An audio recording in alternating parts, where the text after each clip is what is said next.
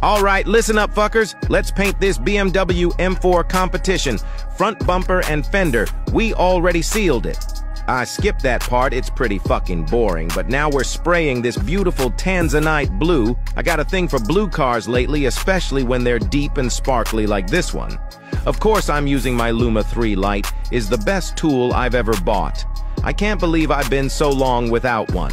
If you don't have one, what the fuck are you waiting for? Now look how this clear lays down with, of course, my Sagola 4600 Extreme two coats with this bad boy and you'll have chicks using your car as a mirror. Anyway, happy spraying, you filthy animals.